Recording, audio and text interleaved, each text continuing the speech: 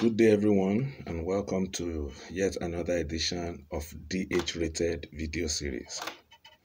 DH Rated is a platform where we discuss adult content ranging from marriage, relationship, sex, postmarital affairs, and everything that has to do with romance or adults. We also do matchmaking for those who have attained marriageable ages, but they do not have a relationship Yes, We do the bidding for you and we get you your choice man or your choice woman. For today's edition of our video series, I have titled this Stop the Rape. Stop the Rape. This came as a result of the feedback and the questions from uh, our viewers and uh, members of our platforms on Facebook and on WhatsApp stop the rape. It is disheartening that um, 90% of African men rape unknown to them.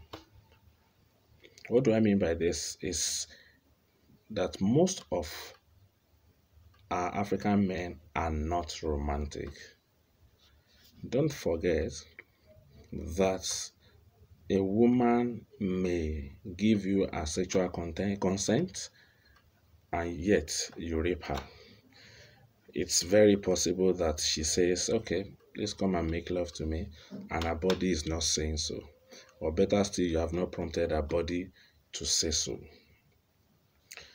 To prepare a woman's body, you need a whole lot of patience. And for you to make a woman to enjoy sex, you need to prepare her body and her sense a sexual sense because it is actually the sense that sends signal to the body in readiness.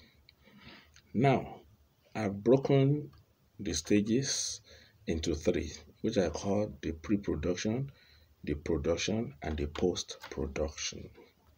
Meaning the preparatory stage, the coitus, the sex itself, and the expectations, the results that must come after sex at the level of pre-production, which is the most important anyway, is the level where you prepare the woman. And in preparing the woman, you need a lot of patience.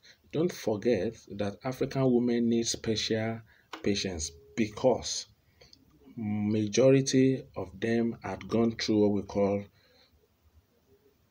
mutilation, female genital mutilation most of them had had their clitoris damaged in the name of culture or in the name of circumcision. So, people like that, you need extra patience to actually bring them around for sexual reasons.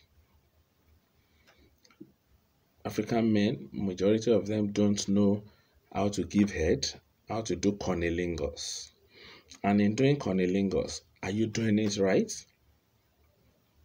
In doing cunnilingus, you have to concentrate around the clitoris region and not the entire vulva. And there is a level of pressure that must be on the clitoris. Else, it goes into pain and the sensation is cut off. That is a lecture for another day, but you must be patient and you must give your woman quality foreplay quality romance. You don't just play with her for five minutes and you want to rush into her. That is rape. And the rape must stop. At least you need 20 minutes of meaningful touches. Kiss, caressing, soft suck on the nipples. Concentrate more on the left, which is closer to the heart. Then go to other sensitive areas. Some at their pinna, some at the back of their neck, some in their palm, and all that. Explore her body and make sure she is brought around. Don't forget that when she is physically ready, she will give you signs. Some will even beg practically that please come into me. Some will try to pull you on them. So, you know, they would give you sign that you will understand that they are ready for intercourse when they are ready. the next stage is the sex itself.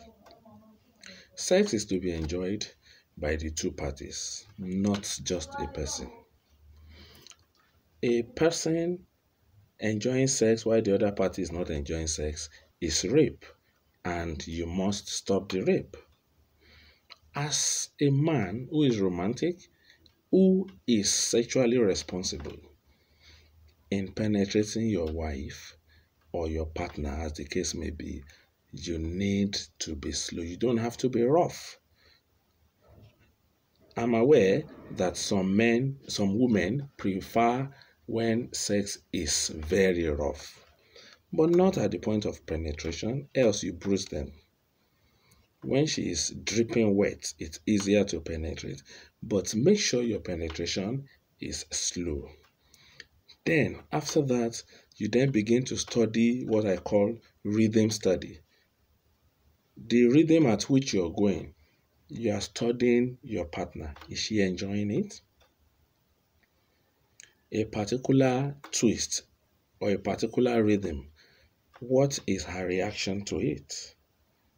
Because most often you need to go three, four, five rhythms before you get the one that suits her most, that she, she want the one she enjoys most. So you need to study your woman. Am I doing the right thing? Is she enjoying it? Does she need depth? Or am I going too deep? Am I too deep or am I too shallow? Occasionally, you pull out and use the tip of your dick, you know, to play with the clitoris and slip it in again. Let me also give you a hint that the best of men sexually are those who tries to use the penis to pull the clitoris into the vagina at every given point in time. You you you rub the penis on the clitoris into the vagina. That is the best way to make a woman come. Not just closing your eye and banging off and digging as if you're searching for your destiny in there. You need to make sure that your partner is responding and she's enjoying it as much as you are enjoying it. It is also important that if you enjoy it, and you reach orgasm, it's important you go back into foreplay and make sure your woman reaches orgasm too. If you have not done that, you have not made love. You have only had sex. Finally, is the post production, which is the feedback, the expectation after sex. It is disheartening that most men, after sex, they bang off they come, after coming, some will roll off right there and they are snoring. It is a sin against God and humanity.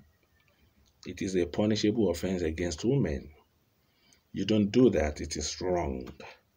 Some will stand up, they will do the Mr. Clean, go into the bathroom to go and clean up, and the next thing they come on bed, they bag the lady. Even if they don't bag the lady, after two minutes they are snoring. It is not right. It is rape. It is after sex, after both of you had enjoyed yourself to satisfaction, that she needs more of what you did at the beginning. She needs to be reassured that she has been loved, she has not been used. That is when she needs cuddling. That is when she needs the warmth of the body, even when you are no longer in her. So when you do that, that is when you engage her and discuss about what you just did. When you do that, you will discover that another round is on its way. All these things, if women try as much as possible to teach their husband. It will be good. But most women don't do that because most of them don't want the man to see them as if this person is wayward or this person is more experienced than I am and all that. So they keep mute. But for men, it's important you learn these things. When women don't enjoy sex with you, most often they don't talk, but they are frustrated. Don't leave them hanging. Make sure they enjoy you to the fullest. Thank you very much. That is going to be the little piece we have for you for today. Please don't forget to subscribe at our YouTube channel. Just scroll down and tap the subscribe button. God bless you. Until next week, when we'll be bringing you another adult topic.